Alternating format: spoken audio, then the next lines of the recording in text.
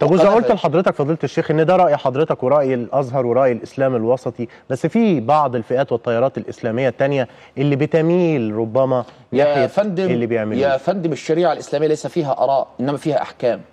الشريعة الإسلامية ليس فيها آراء. ما يجيش واحد متخلف زي ميزو يقول لك الإسلام حلل الزنا. لا ده انت اللي حللت الزنا مش الإسلام.